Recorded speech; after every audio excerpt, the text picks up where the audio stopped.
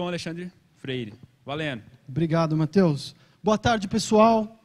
Hoje eu pretendo convencê-los de parar de estimar em pontos e medir velocidade. Sério mesmo, vou trancar a porta, ninguém vai sair daqui, se for sair daqui para usar ponto ou velocidade, ok? Vou convencer, se não convencer, sobe aqui na hora das perguntas, vamos conversar. Tá? Então, minha palestra tem um slide. Para de usar ponto e medir velocidade. Tá?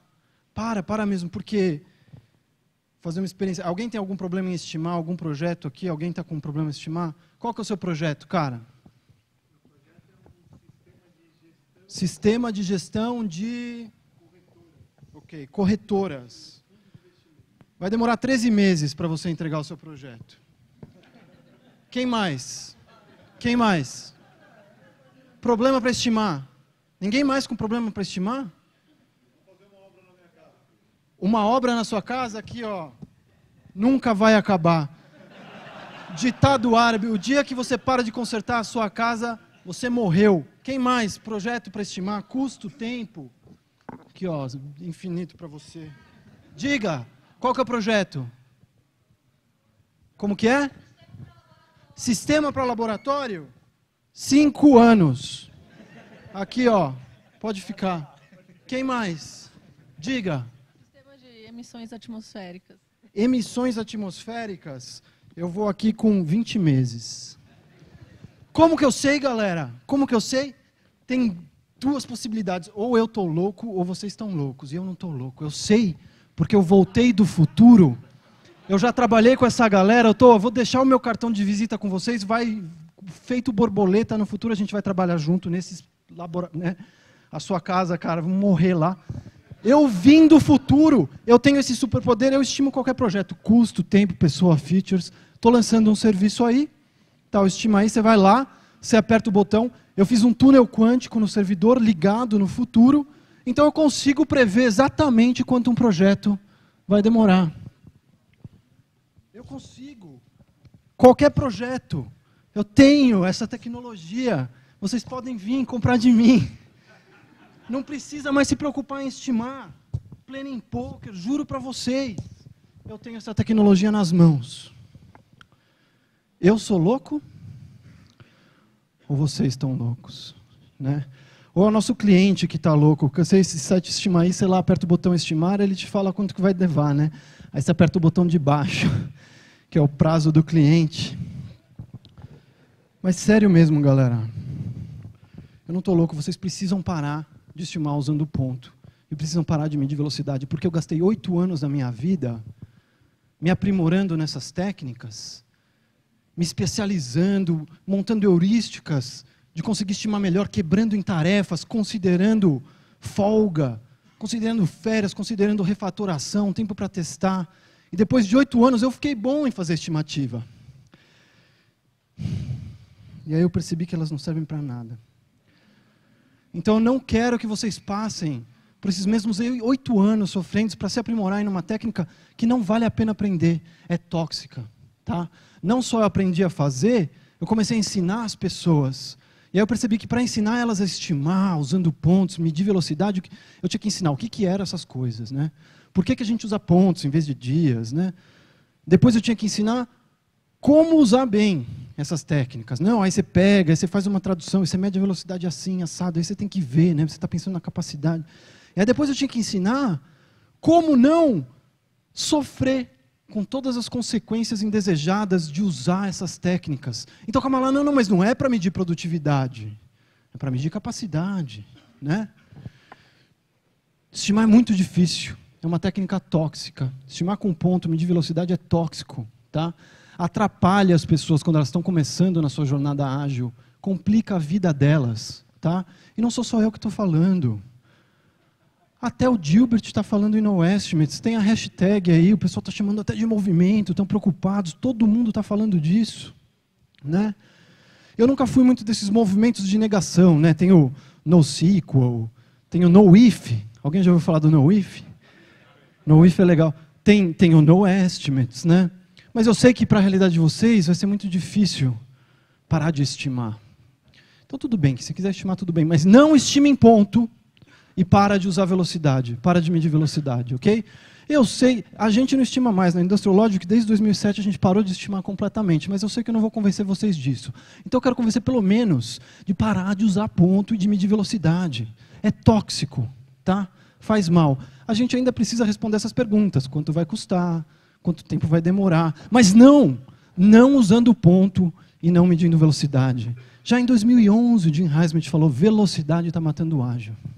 Tá? Por quê?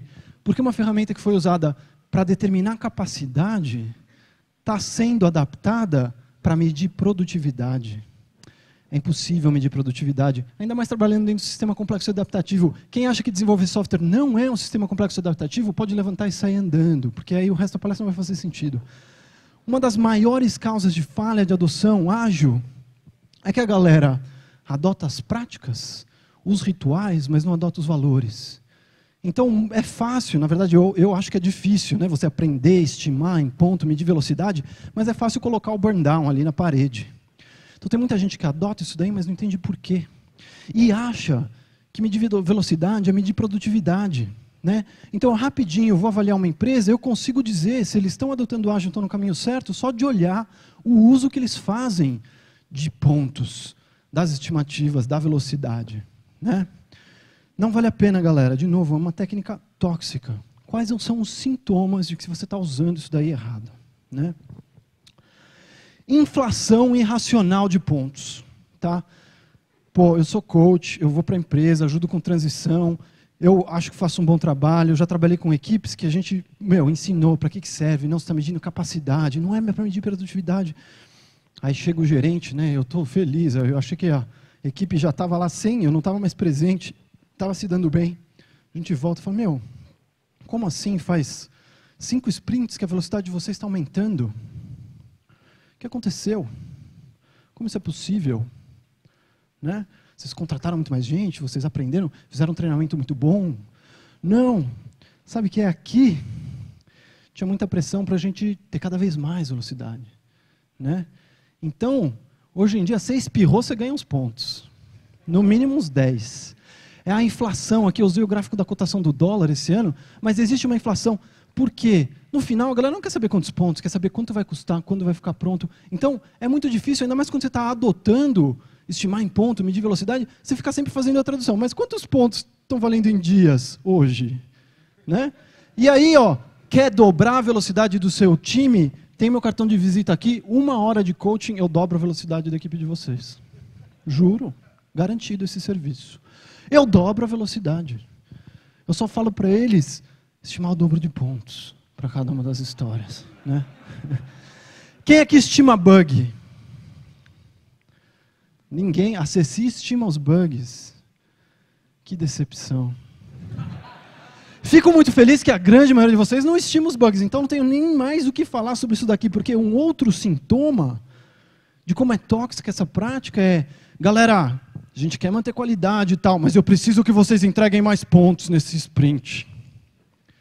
Ninguém vai querer fazer um péssimo trabalho quando o chefe fala: não dá para entregar mais uns cinco pontinhos, só mais cinco pontinhos. O que, que você faz? O que você faz? Claro que dá para entregar, chefinho. Aí a gente para de refatorar, a gente para de testar, né? E a gente sacrifica a qualidade por uma previsibilidade do quê? Estamos entregando mais bug com mais velocidade. Tá ótimo, não? a gente entrega mais esses cinco pontos e mais cinco bugs ali também, né? A gente sabe que é tão ruim essa prática, quando a gente ia lá em transições grandes, a gente ensinava as equipes, olha, o ponto da sua equipe é banana, o ponto da sua equipe é laranja. Aí quando vinha o gerente falar, ah não, por que, que aquela equipe tem uma velocidade maior do que essa equipe aqui? Eu falava, não, cara, não dá para comparar banana com laranja. Mas muita gente que acha que velocidade média e produtividade quer comparar as equipes usando velocidade, quer comparar os indivíduos usando velocidade. É um absurdo, é tóxica essa prática. Né? Aí um coach nosso falou, não, em vez de usar frutas, eu vou usar uma nova unidade, é o nuts. Unidades nebulosas de tempo, né? esses pontos. É muito difícil, essa prática é muito difícil. Ela é na minha opinião, uma prática idiota, que só traz coisa ruim. Isso que eu gastei oito anos para aprender isso. Não passem pelo mesmo erro que eu. Tá? É uma prática que instiga pseudociência. Por que katsu que a gente faz Fibonacci aqui no Planning Poker? Alguém sabe me dizer? É uma coisa natural. Fibonacci natural. Quem quer de brinde um baralho de Planning Poker? Não dou! Para de estimar usando o ponto Fibonacci não é natural. Aqui, ó, tem prova que Fibonacci não é natural. Tá vendo, ó? A concha, o Fibonacci. Não é natural, galera. Pseudociência, sabe por quê? O pior problema na ciência da computação, a coisa mais difícil, é priorizar. Ah, então quando você tem um problema grande, o que você faz? Você cria um outro problema maior ainda, que é estimar em pontos e calcular velocidade, que você resolve esse com pseudociência e não precisa se preocupar com a priorização. Muitas vezes você não precisa da estimativa para priorizar, pessoal está desviando a nossa atenção do que é difícil, do que é certo. Por quê? Tem estudos que mostram, cone da incerteza, né? Se você está pensando na viabilidade de um projeto, você vai errar em quatro vezes. Ou vai demorar quatro vezes mais, ou vai demorar quatro vezes menos. Tá? No melhor caso. Quando você está lá na concepção, nos, nos requisitos, aqui você está fazendo análise de requisitos, vai ser uma vez e meia a mais, uma vez e meia a menos, no melhor caso. Tá? Isso daqui está provado, pessoal. Qual, qual que é um problema que a gente vê aqui nesse estudo do cone da incerteza? Alguém reparou alguma coisa? É o waterfall. Valeu, cara. A gente está falando de ágil, né? Bom, mas a gente não trabalha mais assim. Não deveria, não deveria trabalhar mais assim. Mas muitas vezes a gente fica aqui, né? Estimando, estimando, estimando, quando a gente devia estar tá entregando. Tinha que estar tá trabalhando para entregar mais rápido, cada vez mais rápido, porque aqui não tem incerteza, galera. Tá? Não tenho certeza. E o pior, sabe o que é o pior do quando incerteza? Não adianta você passar de fase para isso daqui acontecer. Não é automático. Agora a gente está na fase de especificação de requerimentos, a incerteza diminuiu. Não. Você precisa trabalhar ativamente para lidar com risco para a incerteza diminuir. Tem empresa que se perde aqui. Eu trabalhei com uma empresa que faltava um mês o projeto para ficar pronto. Aí no mês que vem, não, não, só falta mais um mês. Aí mês que vem, não, não, não, não, mas dessa vez só falta mais um mês. Não, mas calma lá, só mais um mês. Eles ficaram nessas durante seis anos, pessoal. Durante seis anos faltava um mês para entregar o projeto. Durante os primeiros três anos estava tudo bem. A gente entrou lá e o projeto saiu em dois meses. Precisou estimar não, precisou se comprometer. Comprometer em negociar e tirar feature. E não querer fazer tudo ao mesmo tempo. Né? E essa negociação é uma negociação que a gente não está fazendo enquanto a gente fica na punhetinha dos pontos da velocidade. A gente está ignorando isso daí. E quer saber uma verdade? Vou falar uma verdade para vocês aqui agora. O trabalho que você faz é constante. Não tem como aumentar a velocidade. A lei de Parkinson diz que o trabalho toma exatamente o tempo que você der para ele. Sabe quando eu acabei essa palestra? Foi há três meses atrás, quando eu falei, não, vou falar sobre no estimates e tal. 14 minutos atrás, né? Foi mais ou menos. É sério, porque eu tenho todo esse tempo. Até o momento que eu estou aqui começando a apresentar, eu tenho tempo de trabalhar nisso daqui. Então, o trabalho vai tomar o tempo necessário. A gente precisa aprender a se comprometer com data, com custo, e não ficar estimando, né? Nesse mundo imaginário.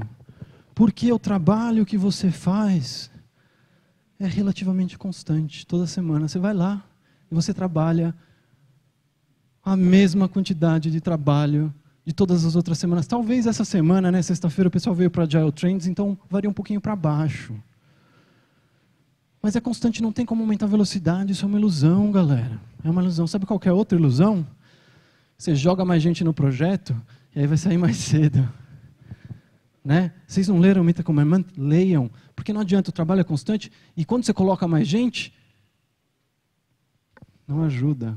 Porque a gente está fazendo uma coisa muito complexa. Desenvolvimento de software é descoberta. Né? Lidar com as opções, o André estava falando. Qual que é a melhor opção de implementar esse requisito aqui? Tem várias. Mas quando a gente está estimando em ponto e tal, a gente fica tão preocupado ali no planning poker.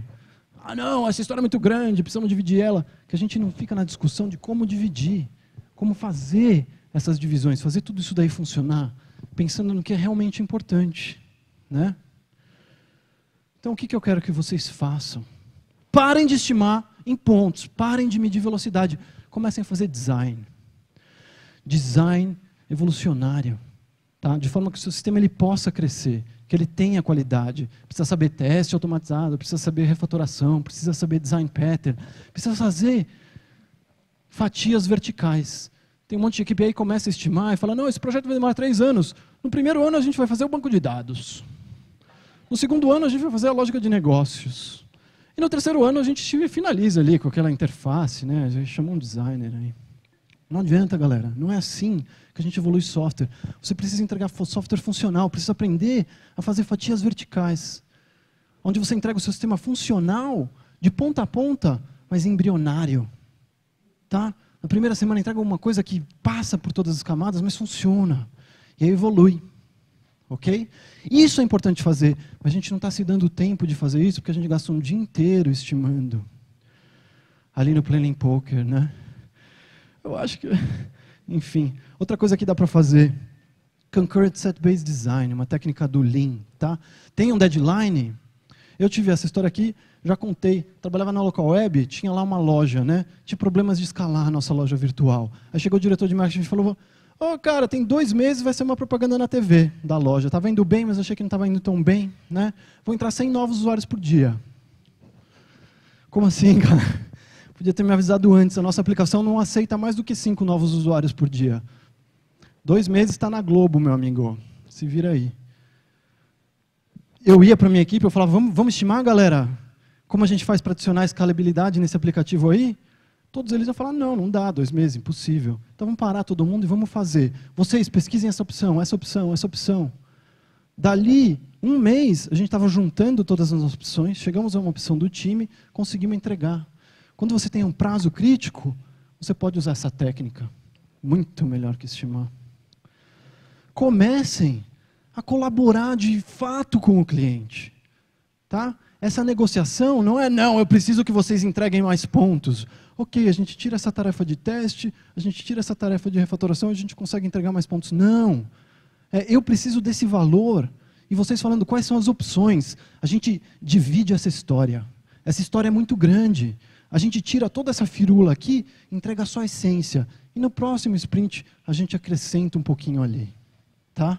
O Moscou, uma técnica de priorização, fala assim: tem os must-haves, os should-haves, os could-haves e os won't-haves. Essa história não vai entrar nesse release. Não tem a ver porque a estimativa dela é muito grande, porque ela demora muitos pontos. Não, porque a gente está negociando e para entregar, essa aqui você não vai ter. Quem aqui está usando os won't-haves? Tem que saber qual história não vai entrar. Então, para concluir, eu peço que vocês parem de estimar em pontos e de medir velocidade. Muito obrigado.